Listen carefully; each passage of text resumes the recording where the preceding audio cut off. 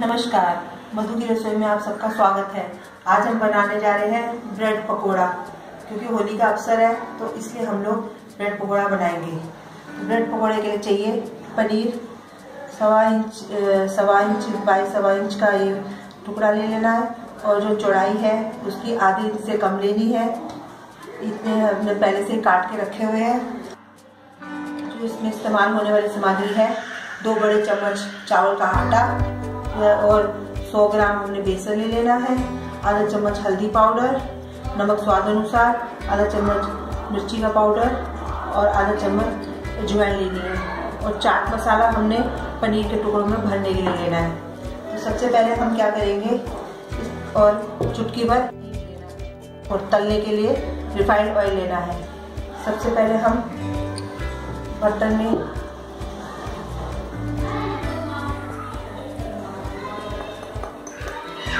बेसन डाल देंगे। उसमें हमने चावल का आटा डाल देना है। चावल का आटा डालने से टेस्ट भी बहुत अच्छा आता है और क्रिस्पी क्रिस्पीपन भी आता है।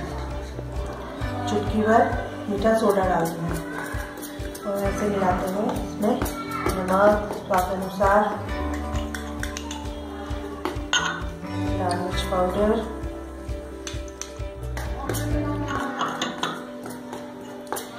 अजवैन।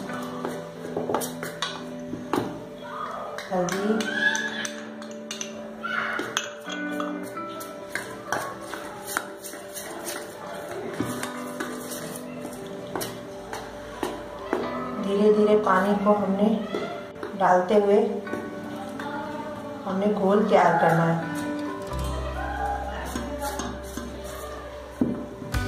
घोल ना हमारा ज़्यादा मोटा होना चाहिए, ना पतला होना चाहिए। इसको हमने अच्छे से फेंटना भी है, ताकि ये फूले तो पकौड़े भी फूले फूले अच्छे से बने।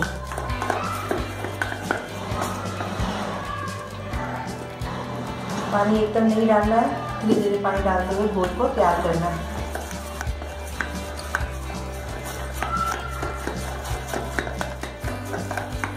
आप चाहे तो स्पून से भी घोल को फेंट सकते हैं।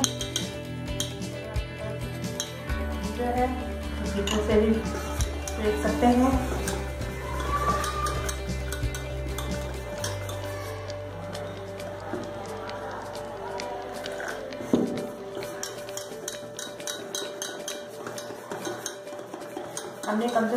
मिनट तक ऐसे ही फेंकना है।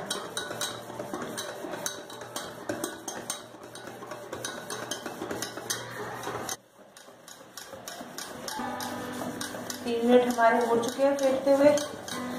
अब इसको ये हमारा घोल ऐसा इससे ना गाढ़ा होना चाहिए, न इससे पतला होना चाहिए। और ये फूलने भी लग पड़ा है। अब इसको हम तब तक रख देंगे जब तक कि तेल गर्म होता है। और हम पनीर में मसाला भरते हैं। अब हम, हमारा घोल तो बन के तैयार है। अब हमने इस पर पनीर में, हमने ये चाट मसाला डालना है। तो चाट मसाला डालने के लिए हमने ऐसे कट करना है। ऐसे कट लगाएँगे बीच में। पूरा कट नहीं लगाना है, इतना छोड़ देना है। ऐसे कट लगाना है। और ऐसे खोल के हमने चाट मसाला भर देना है।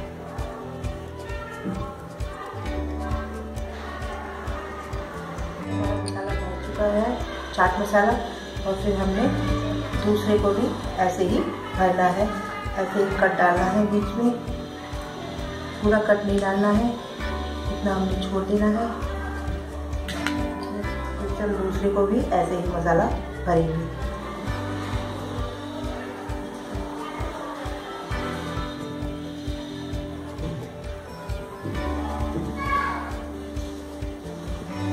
ऐसे ही हमने बाकी इसमें भी मसाले भर के रखना है।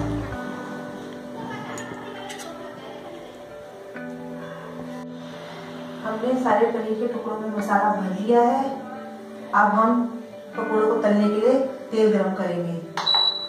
उसके गैस ऑन करनी है।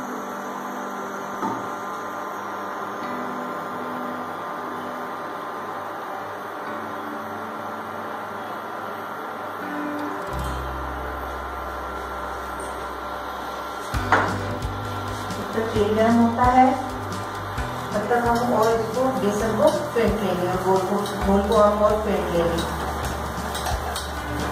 इससे वो अच्छे पकौड़े फुले फुले आते हैं जितना ज़्यादा बेसन फेंटेगा उतना ही अच्छे पकौड़े फुले फुले काफ़ी अच्छे होंगे। तेल हमारा गर्म हो चुका है तो बेसन भी हमारा फिट चुका है, घोल हमारा फिट चुका है पकौड़े का। अब इसके लिए हमने क्या किया है?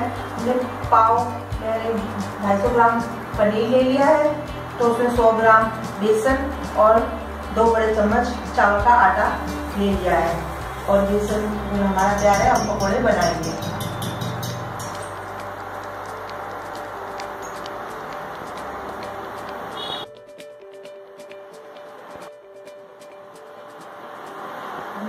पनीर का टुकड़ा डालना है, और ऐसे हमने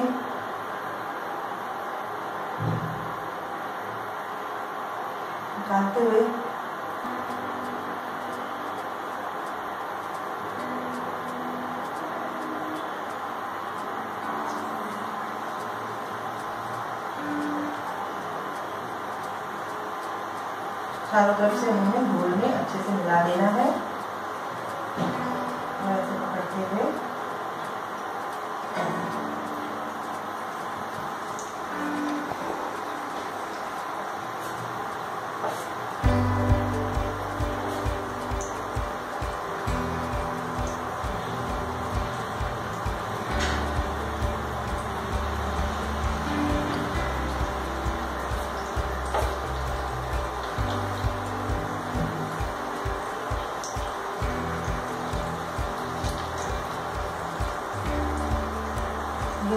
मेहमानों के लिए बनाना है। मेहमानों के आने से पहले आधे पके हुए तल के रख लेना है। उसके बाद आप उसे तुरंत गर्मा गर्म उनको दोबारा से तल के आप खिला सकते हैं जल्दी।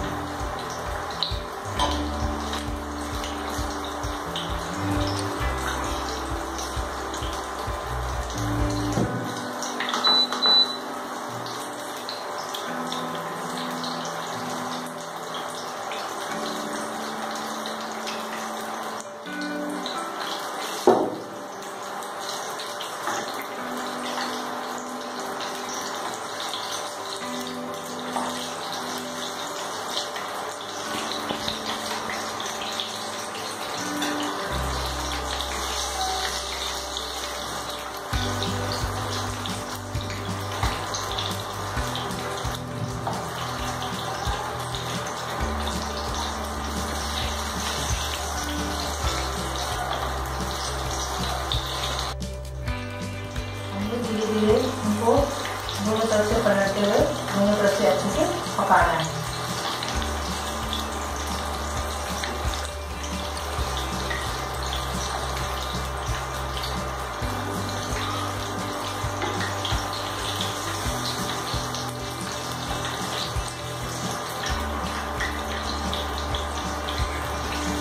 जितना ज़्यादा बेसन फेंटेगा घोल को हम फेंटेंगे उतने अच्छे पकौड़े बनते हैं।